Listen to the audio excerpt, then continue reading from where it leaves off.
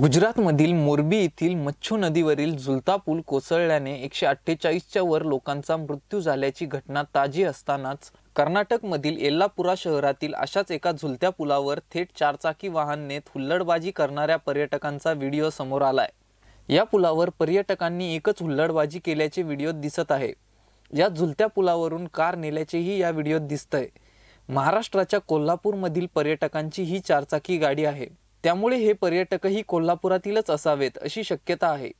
या घटनेबाबत कळताच स्थानिकांनी वेळीच या पर्यटकांना रोखले.